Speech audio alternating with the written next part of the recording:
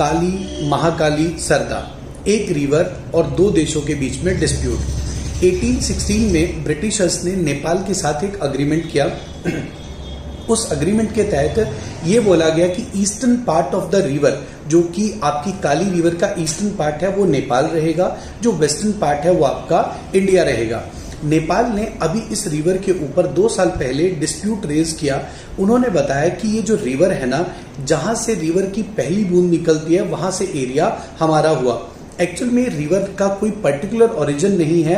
ये जो रिवर है भारत की एक नदी है जैसे आपकी महानदी जिसको हम बोलते हैं आपका आ, ये भी बिल्कुल उसी की तरह है जिसका एक सोर्स नहीं है। बहुत सारे छोटे छोटे झरनों से मिलकर आपके फाउंटेन से मिलकर ये रिवर आपका बनता है।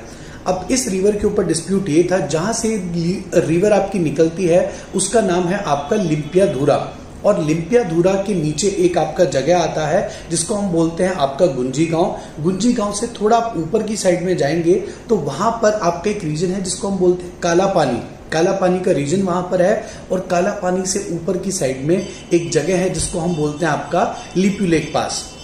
भारत इस लिप्यू लेक पास से ट्रेडिंग करता आया है। ये ट्राई जंक्शन है between India, Nepal and China. Bharat इस जगह से ट्रेडिंग करता है। आपके चाइना के भी साथ आपको बस इतना समझना है इस चीज़ के अंदर कि अभी नेपाल के प्रधानमंत्री भारत देश आए और अभी के लिए वो इस डिस्प्यूट को रिजोल्व करने की कोशिश की जा रही है। ये जो डिस्प्यूट है आपका, ये काफ़ी टाइम से चल रहा है। दो साल इसको लगभग हो चुके हैं। नेपाल क्लेम करता है कि जहाँ से नदी निकली, वो रीजन हमको मिले। भारत बोलता है कि जहाँ पे आकर नदी सब झरनों से मिलकर बन गई, जो कि लगभग गुंजी गाँव के आसपास आपको मिलेगा, वहाँ से हम आपको देने के लिए तैयार हैं। आई होप आपको काला पानी डिस्प्यूट समझ में आया होगा।